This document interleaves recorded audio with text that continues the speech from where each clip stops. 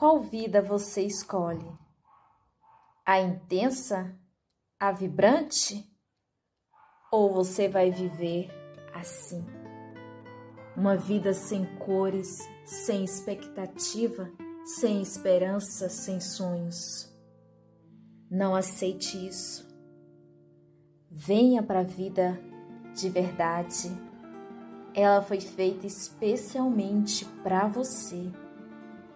E ela vibra, ela pulsa, ela te chama, te convida para viver o grande